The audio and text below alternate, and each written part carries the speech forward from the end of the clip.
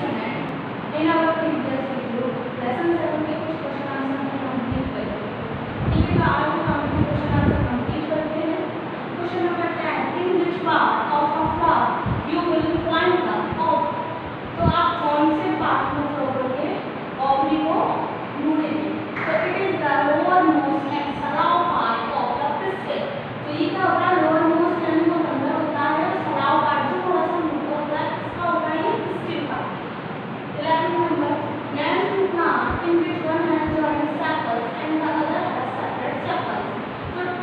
का नाम बताना है जो एक जड़ को